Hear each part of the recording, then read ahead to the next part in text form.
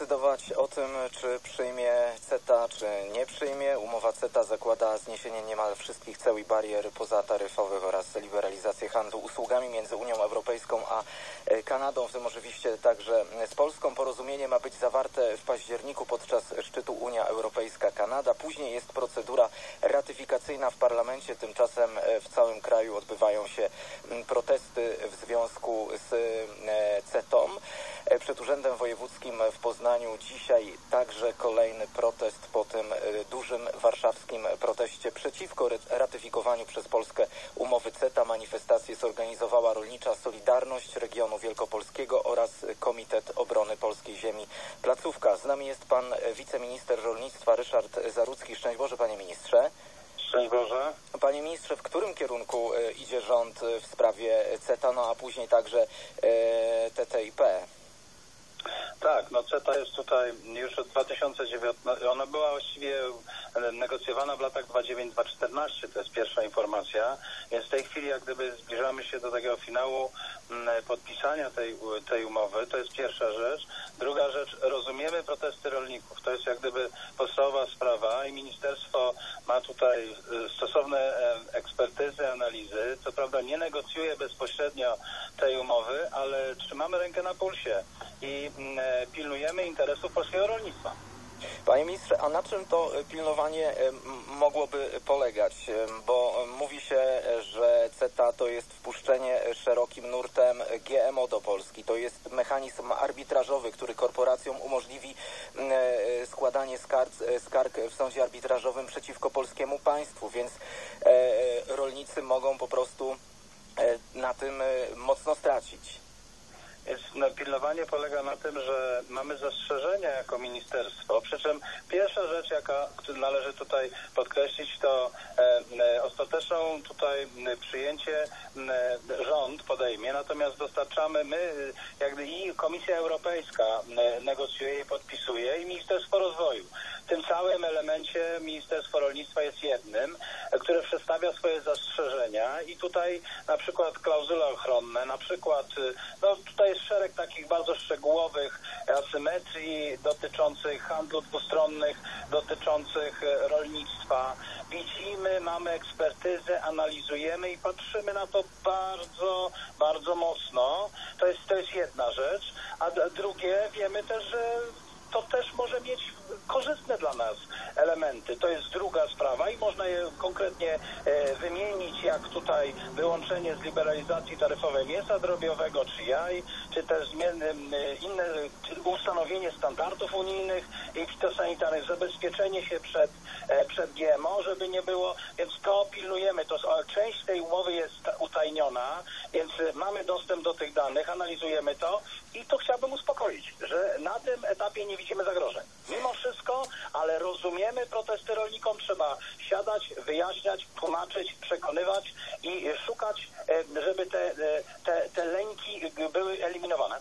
Panie ministrze, to co pan by powiedział tym rolnikom, na przykład, którzy dzisiaj protestowali w Poznaniu, czy także tym osobom, które w Krakowie, w Warszawie w miniony weekend protestowały, które no, mówią między innymi, że otwiera to porozumienie do sprowadzania do Europy słabej jakościowo żywności, tańszej w produkcji, a także GMO. Może to uderzyć w polski rynek zdrowej żywności niemodyfikowanej, szczególnie jabłek, w, której, w, których, w tej produkcji przecież jesteśmy europejskim potentatem. Może doprowadzić do stopniowego upadku polskiego drobnego rolnictwa. Może doprowadzić do upadku przedsiębiorstw, małych przedsiębiorstw przetwórczych, które będą zastąpione przez rolnictwo wielkoprzemysłowe. Wiemy, że Kanada, ale wkrótce także Stany Zjednoczone, gdyby wchodziła w życie, a pewnie to się wydarzy dosyć automatycznie po cecie sprawa korporacji amerykańskich. Zagraniczne korporacje po prostu no, mają, mają inne, in, in, inną wagę i w związku z tym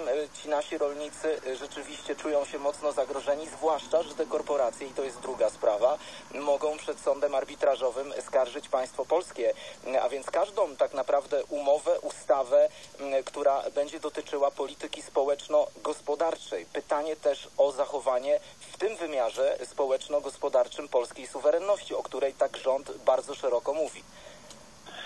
Przede wszystkim no, na wszystkie tematy w tak krótkim czasie nie, nie, nie damy nam od, odpowiedzieć, ale chciałbym przede wszystkim powiedzieć o sprawach rolnych, że mm, w tych tutaj jesteśmy, e, e, ale, ale i też mówiąc ge- generalnie, to, że będzie podpisana, ratyfikowana, umo- podpisana umowa nie znaczy jej pełnej ratyfikacji i wejście w życie. To jest po pierwsze.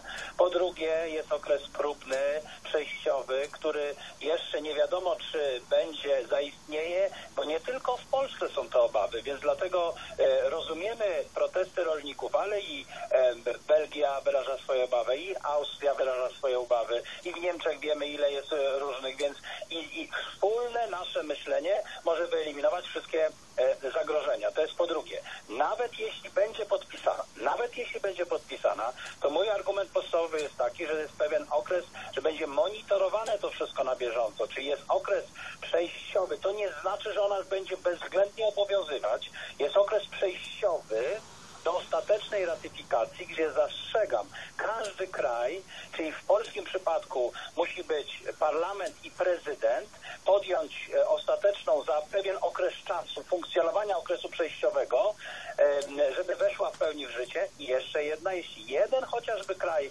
europejski nie przyjmie tej, prezydent nie podpisze tej ostatecznej zgody, umowa nie wejdzie w życie. Ale to Więc tak trochę- zabezpieczeń firewall jest wiele. Jeszcze nim to zafunkcjonuje. A z drugiej strony, dlaczego nie, dlaczego nie mamy spróbować, em, e, żeby ona e, w tym ograniczonym zakresie, który jest, zafunkcjonowała? Dlaczego nie mamy tego zrobić? Panie ministrze, e, a to tak e, z tego co rozmawiamy, to słyszę, że, e, że w sumie polski rząd, e, czy, czy pan, czy Ministerstwo Rolnictwa liczyłoby na taki firewall ze strony jakiegoś innego państwa, no i wtedy byśmy się podpięli pod tego firewalla, Nie. ale, ale rząd polski nie chce tego panie redaktorze, firewalla. Nie. Nie, nie, mówimy o naszych krajowych zabezpieczeniach, a mówię w tym kontekście innych krajów, że nie tylko my mamy, mm, my, że nie tylko polscy rolnicy mają obawy i środowiska, nie związa- które przeciw temu protestują, dlatego bardzo pilnie to e, e, monitorujemy, że, że to jest jak gdyby e, rzeczywiście warte uwzględnienia, bo wymiar jest europejski, a firewall jest wewnętrzny, krajowe zabezpieczenie przed tym, em, y, które będzie jak gdyby jeszcze wdrażane i podpisanie samo, które ma nastąpić w najbliższym czasie o niczym tak naprawdę nie decyduje. No, Panie ministrze, a jaka było, będzie rekomendacja e, dla Rady Ministrów Ministerstwa Rolnictwa w tej sprawie? Rolnictwa przedstawia cały szereg zastrzeżeń do umowy, ale też przedstawiamy, to jest, to jest pierwszy punkt, mamy ich tutaj wypisane, to są bardzo szczegółowe i precyzyjne informacje, o tym informowaliśmy w ramach Komitetu Stałego Europejskiego i bieżących kontaktów też z Ministerstwem Rozwoju. Mamy neutralne, pozytywne elementy cechy, CETY, które przedstawiamy i szukamy tutaj rozstrzygnięć, które podejmie cała Rada Ministrów, rozważając wszystkie argumenty za i przeciw brak klauzuli ochronnych jako negatywne. A że tak, jeśli mam specjalistycznie wymienić, bo to jest asymetria postanowień umowy w zakresie prawa, dostosowania w handlu dwustronnym klauzuli ochronnej wynika z porozumienia WTO w sprawie rolnictwa. Ograniczenie niektórych preferencji celnych udzielanych przez Kanadę tylko do importu wewnętrznych kontynentu WTO. E, Przewidzianej umowy docelowo nie- nieograniczonej liberalizacji importu pszenicy. To są nasze zastrzeżenia i niewystarczająco transparentnego sposobu prowadzenia negocjacji. Bardzo konkretne, e, wymagające uzasadnienia nasze rekomendacje, zastrzeżenia do umowy w ramach dotychczasowej dy, dy, dyskusji. Ale trzeba też uczciwie powiedzieć, że mamy też neutralne lub pozytywne. Jak po pierwsze, umowa przewiduje włączenie w wyłączenie z liberalizacji taryfowej mięsa drobowego oraz jaj, a także ogr- ograniczenie liberaliza- liberalizacji taryfy w imporcie z kanty mięsa wołowego. No tu mógłbym wymieniać tak, tak słowa dość trudne i nie wiem czy zrozumiałe, ale chcę powiedzieć, że umowa nie, nie zmienia unijnych standardów sanitarnych i fitosanitarnych. Oznacza to między innymi umowa, że nie zakłada dopuszczenia do rynku produktów kanadyjskich, które obecnie nie są dopuszczone ze względu na brak spełnienia unijnych norm, na przykład wołowiny z hormonami. I tak mógłbym jeszcze co najmniej trzy bardzo pokaźne em, e, e, tutaj e, elementy wymienić, zapisy rozdziałów w sprawie środków sanitarnych, fitosanitarnych, dających szansę na uproszczenie i e, przepisywanie procedur dopuszczenia produktów unijnych na rynek Kanady. Panie redaktorze, jak zawsze każde umowy, jak każde tego typu budzące społeczne, e, społeczne e, współczucia są, mają pozytywną stronę i negatywną. My je znamy, identyfikujemy i tak będziemy rekomendować Radzie Ministrów. E, no właśnie, o tę rekomendację, e, panie ministrze, e, pytam, bo kiedy przygotowujemy raport, no to są zalety, wady, szanse, zagrożenia, słabe strony, mocne strony, tak. prawda? Cała ta analiza, tak. ale później tak. Musi być zdanie. Ministerstwo Rolnictwa rekomenduje i co rekomenduje Radzie Ministrów? Ministerstwo Rolnictwa będzie wspólnie wypracowywać najlepsze dla kraju w dyskusji i rekomenduje, nie, nie jest, jesteśmy za, e, za tym, aby e, zabezpieczyć interesy polskiego rolnictwa w sposób zasadniczy. I to będzie, jesteśmy za tym, żeby e, tak jak pan, wszystkie obawy, które są z tym związane przez rolników, no, były maksymalnie wyjaśnione. Jesteśmy za tym, żeby wspierać rolników i wyjaśniać wszystkie istniejące wątpliwości. Tylko czy to się da zrobić w ramach CETA? To się na rzecz CETA, na rzecz tego, czy idziemy w tą stronę, czy nie. Tak jak starałem się przedstawić to wcześniej, ta procedura nie jest zamknięta i nic ostatecznie w ten sposób nie decydujemy, tylko określamy też nasze możliwości, kierunki rozwoju. A kiedy można się.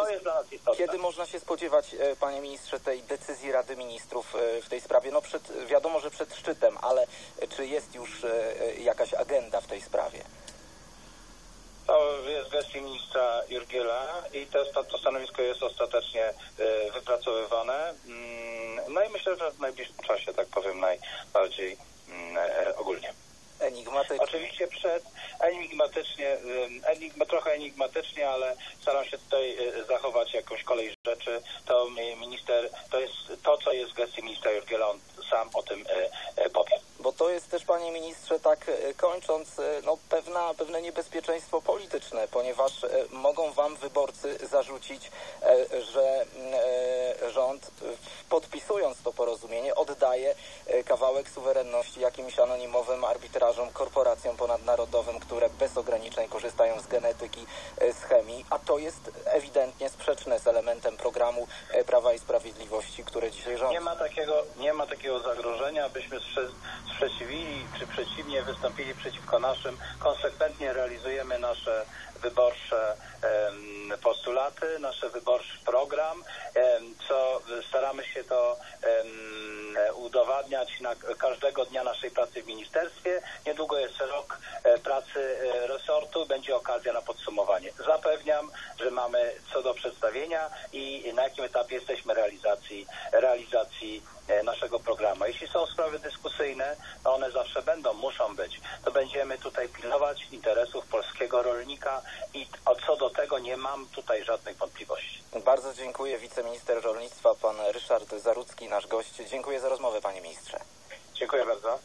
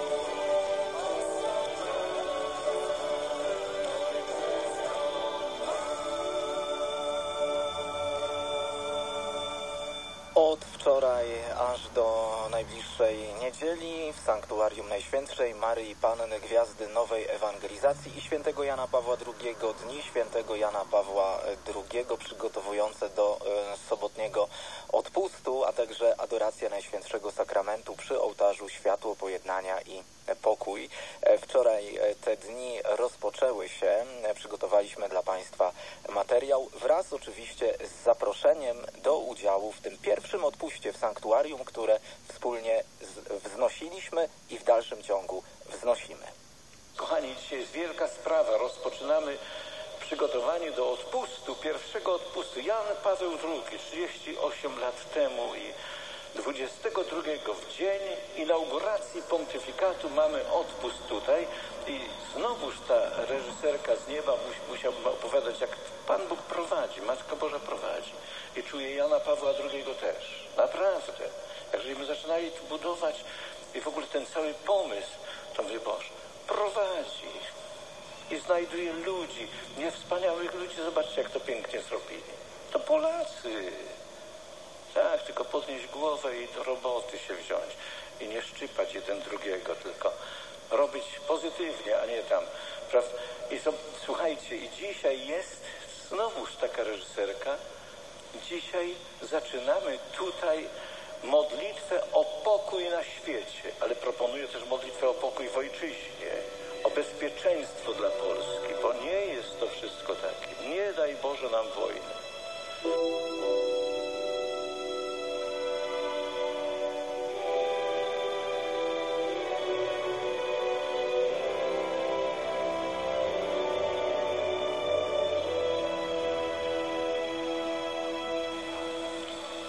Modlitwa świętego Jana Pawła II o pokój na świecie. Boże Ojców naszych, wielki i miłosierny, Panie życia i pokoju, Ojcze wszystkich ludzi. Twoją wolą jest pokój, a nie udręczenie, potęp wojny i obal pychę gwałtowników. Wysłałeś Syna swego Jezusa Chrystusa, aby głosił pokój bliskim i dalekim i zjednoczył w jedną rodzinę ludzi wszystkich ras i pokoleń. Usłysz krzyk wszystkich Twoich dzieci, udręczone błaganie całej ludzkości.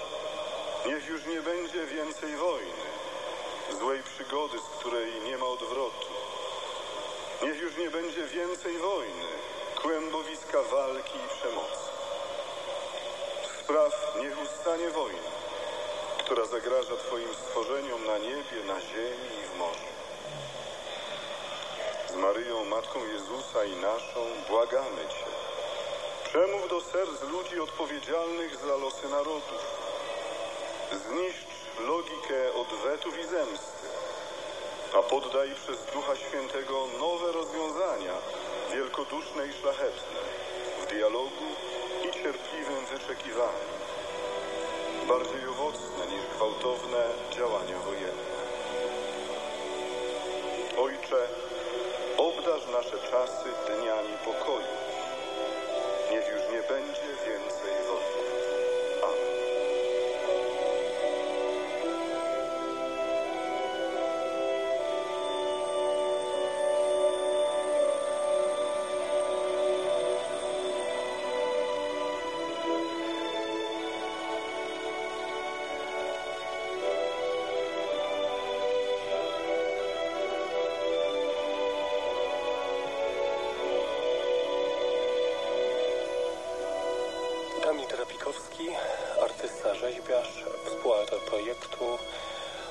Adoracji Najświętszego Sakramentu do Kibeho i współzałożyciel e, Stowarzyszenia Komunita Ecina Drapacz.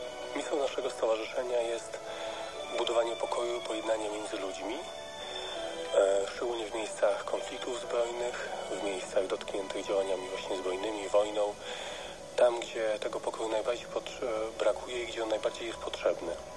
Ale budowanie pokoju nie poprzez siłę, poprzez przemoc, ale na kolanach przed Najświętszym Sakramentem, aby czerpać ów pokój od samego źródła, bo prawdziwym jednym źródłem pokoju jest Chrystus.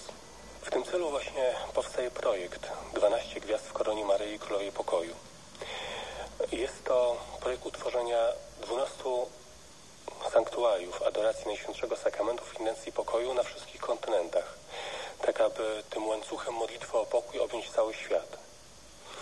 Pierwsze z tych miejsc powstało w Ziemi Świętej, E, w Betlejem, w Palestynie, e, miejscem, w którym wszystko się zaczęło, w którym Chrystus przyszedł na świat, a w którym tego pokoju tak bardzo cały czas brakuje. Kolejne powstało w Kazachstanie, kraju martyrologii wielu narodów, w tym również naszego, w sanktuarium Matki Bożej Królowej Pokoju w Ozornoje. Trzecia gwiazda rozbłysła już na kontynencie afrykańskim. Było to Yamasukro, wybrzeże Kości Słoniowej gdzie w tym roku w obecności całego episkopatu Dużorzakości, Słoniowej oraz krajów sąsiednich Bazylika Wiamasuka została właśnie włączona w ów, projekt 12 Gwiazd w Koronie Maryi Królowi Pokoju. Czwartym miejscem jest właśnie Kibeho, Ruanda. Kraj, który dotknięty w latach 80. trudną, bratobójczą wojną, w wyniku której zginęło ponad 2 miliony ludzi. Tamta Modlitwa o pokój, pojednanie między ludźmi wciąż jest potrzebna, ponieważ te rany wciąż są żywe.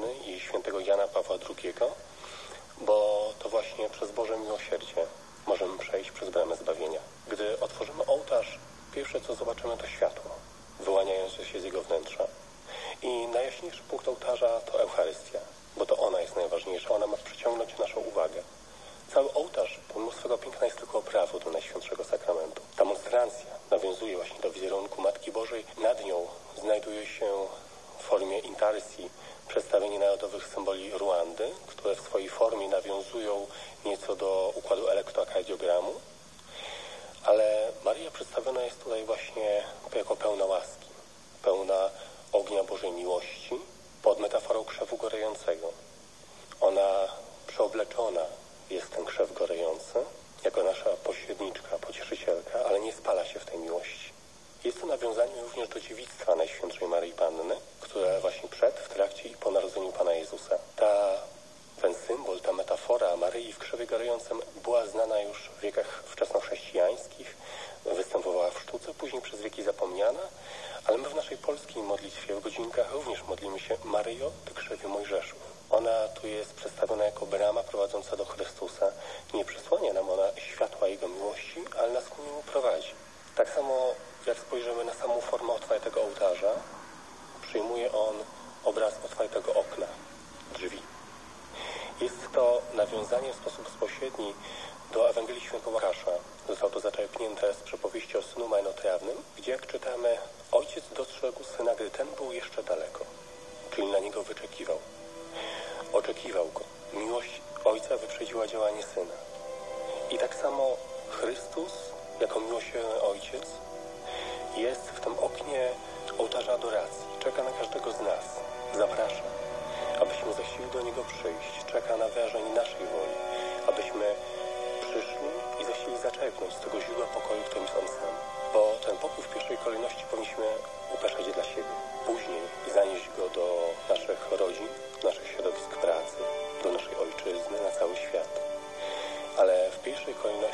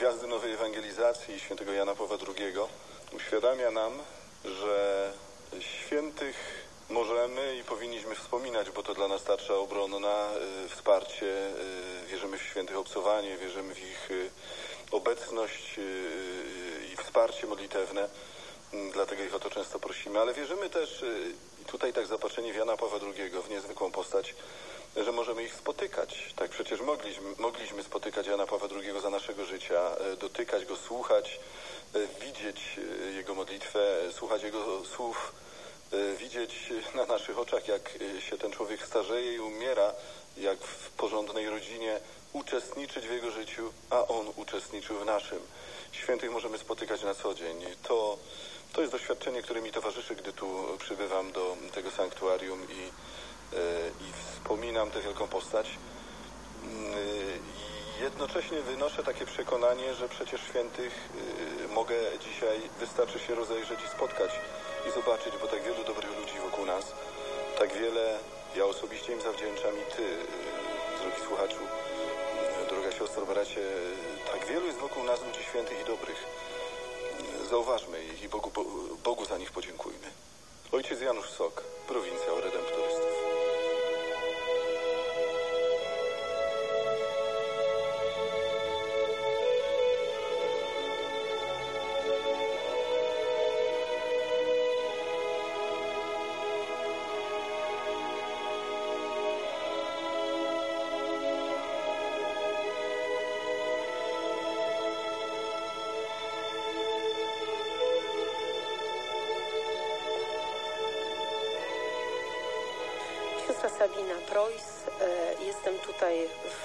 Pięknym sanktuarium Gwia- Matki Bożej Gwiazdy Nowej Ewangelizacji świętego Jana Pawła II w Toruniu. Jestem franciszkanką rodziny Maryi, która właśnie, którą dostałam obowiązek posługi tutaj w sanktuarium. Jest jakby takie nowe spojrzenie zgromadzenia w posłudze tu sanktuarium. Prowadzimy nowe dzieła E, jak tylko mm, Duch Święty nam tutaj podpowiada, właściwie podpowiada moim przełożonym, bo to oni mnie tutaj skierowali, zlecili. Jestem w sanktuarium, które samo mnie zachwyca. Nie tylko pięknem, ale i ludźmi, którzy tu przebywają. Ludzie, którzy klęczą, modlą się, są piękni Bogiem, prości ludzie, ale i ludzie, którzy podziwiają pięknem tego dzieła. Sama jestem świadkiem, gdzie ludzie w swojej prostocie tak kochają Pana Boga, że ciekną jakby im łzy e, ze wzruszenia, że mogą być w tak pięknym miejscu, świętym miejscu. To dzieło dopiero się zaczyna, to dzieło chwały Bożej w tym sanktuarium dopiero się zaczyna. Ono już ma jakąś taką swoją historię, ale i dla nas sióstr zakonnych tu posługujących jest siostra przełożona Barbara Wójcik, jest e, siostra mm, Barbara Szarkiewicz e, i ja i my widzimy wiarę ludzi. I oni myślę, że nie tylko przyjdą raz, ale będą tu przybywać, będą e, jakby tęsknić za tym miejscem. Dlaczego? Myślę, że że y, piękno też tego sanktuarium jest w tym, że są tu relikwie świętego Jana Pawła II, że to miejsce jest tak związane ze świętym Janem Pawłem II, że on był nasz. My mówimy, że to był nasz papież chociaż wszyscy papieże e, są e, otaczani naszą miłością, chrześcijańską miłością, ale to był nasz. E, I ci ludzie, którzy tu przyjeżdżają z takim wzruszeniem, całują święte relikwie i modlą się i tęsknią i, i mówią, że nie raz tutaj będą przyjeżdżać. Nasza posługa tutaj sióstr jest też taką posługą gdzie my cieszymy się, że jesteśmy tutaj, że możemy też poznawać nowe dzieło, które Duch Święty nam tutaj zlecił. Dlatego, że zgromadzenie przede wszystkim swoją misją w Kościele, przede wszystkim opiekujemy się starszymi ludźmi. Taki był cel zgromadzenia, żeby mm, przygarnąć ludzi, którzy są starsi, mm, e, którzy są potrzebujący, dzieci, które są sierotami. I to było już wiele, wiele lat temu, w 1000 1857 roku, roku, gdzie Zygmunt Szczęsny-Feliński, nasz założyciel, arcybiskup Warszawy, właśnie czuł tego Ducha Świętego i wtedy właśnie nas założył. Zrodziło się to pragnienie objęcia wszystkich, którzy są potrzebujący. I siostry to, to dzieło prowadzą dalej przez tyle lat. Wiemy, że wśród y, powołań, które Bóg skierował do naszego zgromadzenia, były również święte siostry i my je wspominamy. Ich wielką miłość do zgromadzenia, ale przede wszystkim miłość do Pana Boga, która realizowała się w tym, żeby innym pomagać w różnych dziełach, a także E, w dziełach nie tylko pomocy dla osób starszych, cierpiących, e, odrzuconych dzieci, ale również w katechizacji, e, w kościołach, gdzie tylko była potrzeba, gdzie tylko proszono nas, tam zgromadzenie szło, bo czuło tą potrzebę Kościoła i tak pięknie włączało się i włącza się dalej. Między innymi właśnie też to, że my właśnie siostry Franciszkanki Rodziny Maryi jesteśmy w tym sam sanktuarium, e, w tej posłudze.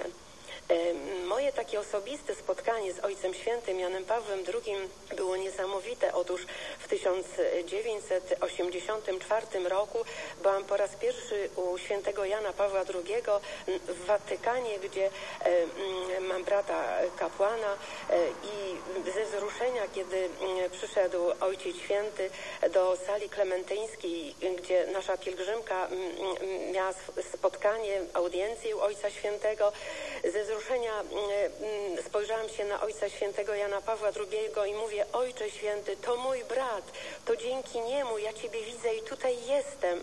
A Ojciec Święty podszedł do mnie, chwycił mnie za ramię i powiedział, a to jest moja siostra. I wszyscy bardzo się ucieszyli, klaskali e, i uśmiechali się, że Piękne pytanie i piękna odpowiedź. Ale i drugie było spotkanie u schyłku jego życia, kiedy mm, moja, mój kurs, jakby można powiedzieć, moja, moja grupa sióstr, obchodziliśmy 25-lecie życia zakonnego, pojechaliśmy do Jana Pawła II, żeby tam się z nim spotkać.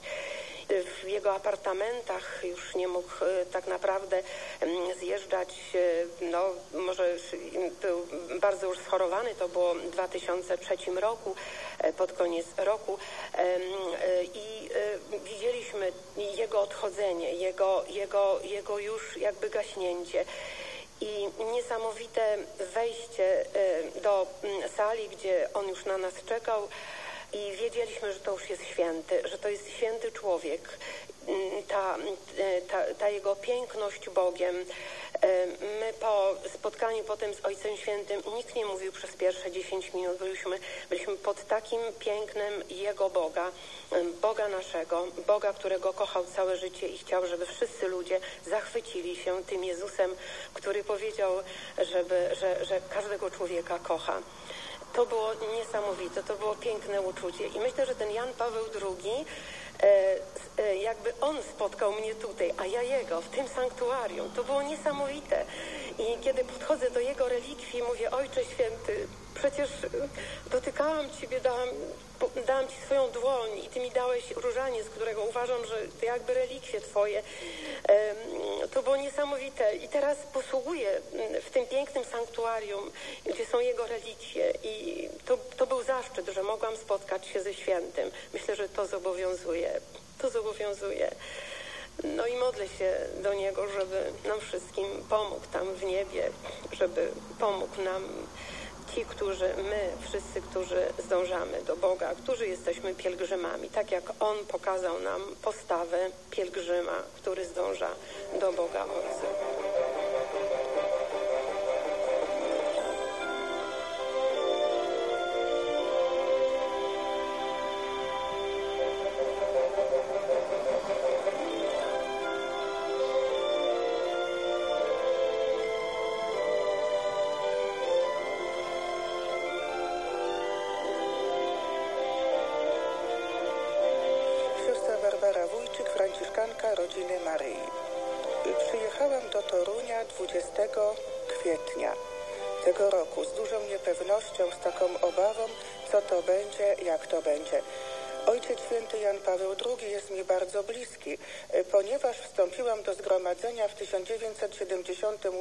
Roku i miesiąc po moim wstąpieniu Ojciec Święty Jan Paweł został powołany na stolicę Piotrową. Także całe moje życie zakonne jest z nim w szczególny sposób związane. Nie tylko intelektualnie, duchowo, ale tak wręcz emocjonalnie. Byłam świadkiem jego pierwszych kroków, pierwszych dni w papiestwie, a jednocześnie stawiałam swoje pierwsze kroki w zgromadzeniu zakonnym i dlatego tak emocjonalnie jest dla mnie bardzo bliski. Pracując w tym sanktuarium, bardzo interesowało mnie, jak rozwinie się jego duchowość. Wiadomo, że jesteśmy pod patronatem Matki Bożej Gwiazdy Nowej Ewangelizacji i Ojca Świętego Jana Pawła II. Ale to są pojęcia bardzo szerokie, więc co dalej? Patrzyłam, zastanawiałam się, jak to będzie, w jakim kierunku pójdzie duchowość tego sanktuarium, bo każde sanktuarium ma coś specyficznego, swojego ducha, swój klimat. Pracowałam tak zewnętrznie, a w duchu zastanawiałam się, wręcz stawałam przed jakąś ścianą, jak będzie dalej. I wtedy przyszła odpowiedź. Dla mnie ta odpowiedź przyszła w momencie, kiedy opracowywałam nowennę, wtorkową nowennę do świętego Jana Pawła II. Przychodzą prośby i podziękowania przez internet, Y, ludzie dzwonią, proszą o modlitwę, ewentualnie wpisują swoje prośby do księgi próśb i dziękczynienia. Do mnie należy opracowanie tego w taki sposób, aby ojcowie mogli swobodnie i treściwie te prośby przedstawić w czasie nowenny. I wtedy przyszło do mnie takie olśnienie, odkrycie. To będzie sanktuarium rodziny. Ojciec Święty jest patronem rodzin, A więc tutaj mają miejsce ci, którzy chcą za rodzinę dziękować, a jednocześnie ci, którzy chcą w różnych sprawach rodzinnych prosić. I to jest bardzo szerokie pojęcie. Od trosk rodzinnych typu brak dzieci, trudne wychowanie, nałogi, po dziękczynienie za doczekanie trzeciego i czwartego pokolenia to niesamowicie wzrusza, jak taka starsza osoba bardzo dziękuję, że doczekała prawnuków. Aż po szerokie pojęcie rodziny, rodziny adopcyjnej, rodziny, w której wzrastają powołania do życia zakonnego i kapłańskiego, rodzin duchowych, czyli rodzin zakonnych i rodzin kapłańskich. I tak widzę swoją pracę w sanktuarium. My mamy służyć rodzinie, tym ludziom. Jestem bardzo szczęśliwa, ponieważ jest to tak bardzo w naszej duchowości zakonnej, w duchowości rodziny Maryi.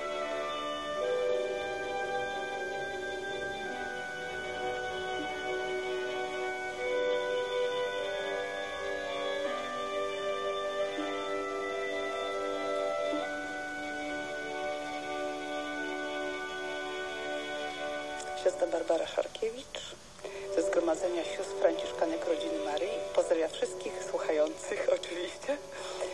Posługa Sanktuarium Matki Bożej Gwiazdy Nowej Ewangelizacji i świętego Jana Pawła II, która została mi przydzielona przez moich przełożonych, e, napawa mnie ogromną radością, ponieważ obcowanie, codzienne obcowanie ze świętym Janem Pawłem II obecnym w jego relikwiach, w naszym sanktuarium, jest niesamowitym doświadczeniem takim wewnętrznym spotkania z wielką osobowością, z wielkim świętym i z człowiekiem, który jest dla mnie ogromnym wzorem, wzorem modlitwy, pokory i taka też postać Jana Pawła II jest zaprezentowana w naszym sanktuarium modlącego się. Mam to szczęście, codziennie rano otwierać kościół i być pierwsza niejako przy tych relikwiach i z czcią ucałować relikwie, spojrzeć Matce Bożej, przed którą on, e, Jan Paweł II, wielki święty, wypraszał łaski dla całego Kościoła, dla e, Polski, dla ojczyzny naszej. Jestem jako pierwsza, która mogę spoglądać w oczy Matce Bożej. To jest niesamowite doświadczenie takiej ciszy, spokoju i takiego momentu, gdzie mogę być tylko ja i Maryja ja i święty Jan Paweł II. To jest może takie egoistyczne, ale dla mnie jest to bardzo, bardzo ważny moment dnia. Staram się przybiec jak najwcześniej, żeby mieć tą chwilę taką tylko intymną dla siebie. I to jest niesamowity, niesamowity czas, niesamowity, e, niesamowite doświadczenie takie duchowe. Mam to szczęście, także e, jako mm, obserwatorka e, osób, które przychodzą, pielgrzymów, do sanktuarium naszego, oglądać świętość ludzi, którzy przychodzą do świętego. To jest niesamowite doświadczenie, e, szczególnie ludzie e, prości, kiedy z taką czcią, z takim zaangażowaniem serca, z taką, z taką świętością w oczach i pokorą idą na kolanach przed obliczem Matki Bożej, przed relikwiami świętego Jana Pawła II. Dla nas jest to takie niesamowicie budujące, buduje też także naszą wiarę i chyba umacnia ją. Właśnie ta postawa tych ludzi, którzy z taką wiarą i czcią zbliżają się do świętego Jana Pawła. Naprawdę jest to niesamowite doświadczenie i którym zresztą dzielimy się tutaj w zakrysty z ojcami posługującymi w naszym sanktuarium, z, z moimi współsiostrami. Y, no, bogactwo duchowe niesamowite. No, zarażamy się także niesamowitym entuzjazmem ojca kustosza, Andrzeja Laskosza od razu dodaję, y, który jest tutaj motorem takim niesamowicie napędzającym y, nas i niekiedy popędzającym, ponieważ ma dużo pomysłów, dużo inicjatyw wypływa od niego i to przygotowanie do odpustu Y, związany pierwszego odpustu w naszym sanktuarium, to w zasadzie wypracowane, wymodlone przez wszystkie pomysły przez ojca Kustosza, naszą siostrę przełożoną. Także wielki, wielki szacunek i taka duma też, że mogę z takimi osobami posługiwać, tutaj wszystkim, którzy przychodzą do naszego sanktuarium. Moje osobiste doświadczenie z Janem Pawłem II miałam to ogromne szczęście. Niestety nie spotkałam tak bezpośrednio w takim bliskim kontakcie za życia Jana Pawła II, ale miałam ogromne szczęście być, uczestniczyć w beatyfikacji i kanonizacji w Rzymie. Było dla mnie ogromne doświadczenie też duchowe i myślę, y, dzisiaj z perspektywy czasu oceniam to, że Jan Paweł II gdzieś tam mnie musiał dostrzec, skoro wybrał y, do posługi w tym sanktuarium. Uważam, że to jest dla mnie ogromny zaszczyt i, i szczęście, że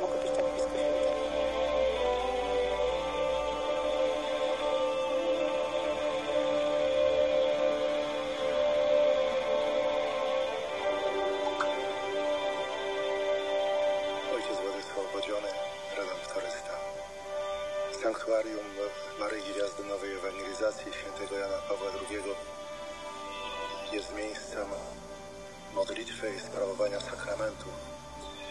Pragniemy jednak, aby było też takim centrum ewangelizacyjnym i to w duchu nowej ewangelizacji zainicjowanej przez świętego Jana Pawła II. Pamiętamy, że to właśnie w Nowej Hucie papież po raz pierwszy przywołał ten termin, mówiąc, że od krzyża w Nowej Hucie rozpoczęła się nowa ewangelizacja. A później, rok później, w 79 roku na Haiti przedstawił definicję nowej ewangelizacji. Patrzcie w przyszłość, głosząc Ewangelię z nową mocą, nowym zapałem i nowymi środkami wyrazu. W tym duchu pragniemy formować nowych ewangelizatorów dla nowej ewangelizacji tu, przy tym sanktuarium świętego Jana Pawła II. By ono też było takim centrum formowania się świętych, rodzenia się świętych. Pewno pamiętamy też e, jedno z ostatnich słów, które wypowiedział Ojciec Święty też w formie testamentu. Nie lękajcie się świętości. Chciejcie być świętymi. Niech nowe tysiąclecie będzie tysiącleciem ludzi świętych. I to jest właśnie serce nowej ewangelizacji, nasza świętość. Stąd też e, przygotowujemy przy sanktuarium taki nowy projekt ewangelizacyjny dla nowej ewangelizacji właśnie, którego celem jest e, formacja ludzi świe e, świeckich, nowych ewangelizatorów dla nowej ewangelizacji. Zaczynamy od dni skupienia i rekolekcji. Pierwsze dwa dni skupienia to jest listopad, drugi w grudniu, 21 listopada e, Dzień Skupienia, temat Jan Paweł II, Człowiek Modlitwy, 12 grudnia Jan Paweł II, Człowiek Miłosierdzia, a 6 do 9 grudnia rekolekcje, e, uzdrowienie przez przebaczenie. E, wiemy, że dzisiaj jest to problem wielu ludzi, borykają się z doświadczeniem poranienia, odrzucenia, nie mogą sobie poradzić i duchowo, emocjonalnie, i psychicznie z doświadczeniem krzywdy. Pragniemy więc w czasie tych rekolekcji e, poprzez modlitwę, słuchanie słowa, e, rozmowy, sprawowanie sakramentów świętych, modlitwę wstawienniczą, przyjść z pomocą tym ludziom, też pomóc przepracować problem krzywdy e, i wymodlić też łaskę przebaczenia krzywdzicielom. W ten sposób sanktuarium E, staje się takim centrum też ewangelizacyjnym. E, wszystkie informacje na stronie internetowej Sanktuarium. Nowe też będą się pojawiać, bo na drugie, pierwsze półrocze nowego roku, na pierwsze półrocze nowego roku będą nowe propozycje. Do zainteresowanych też tam odsyłamy. E, liczymy na to, że rzeczywiście sam święty Jan Paweł II przeprowadzi tutaj ludzi pragnących formować się dla nowej ewangelizacji i że to miejsce stanie się takim świętym miejscem, ale zarazem również centrum formowania się nowych ewangelizatorów dla nowej ewangelizacji.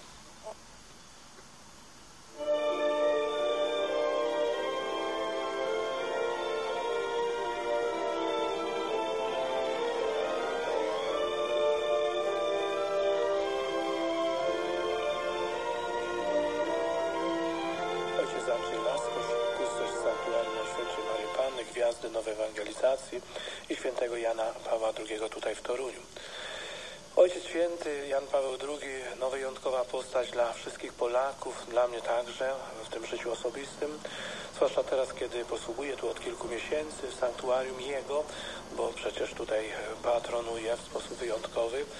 Poznaję Jego duchowość, odkrywam Go, próbuję przynajmniej na co dzień też odkrywać to wszystko, co czynił tutaj na ziemi, chodząc, nauczając, ale nade wszystko no, ukazuje nam prawdziwe oblicze Boga, który kocha człowieka i kocha też e, no, drugiego człowieka.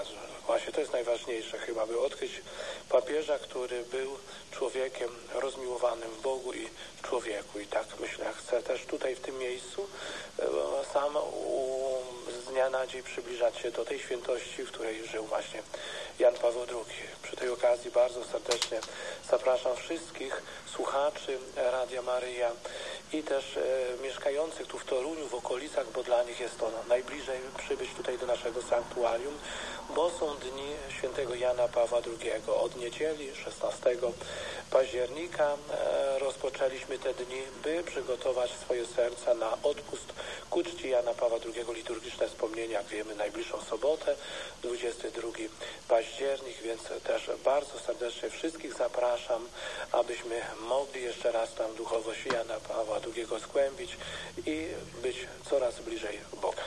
Wiemy, że przy naszym sanktuarium powstaje Bractwo Świętego Jana Pawła II. Już najbliższą sobotę o godzinie 12 zaprzysiężenie e, kandydatów. Myślę, że będzie około 40 osób, a może i więcej.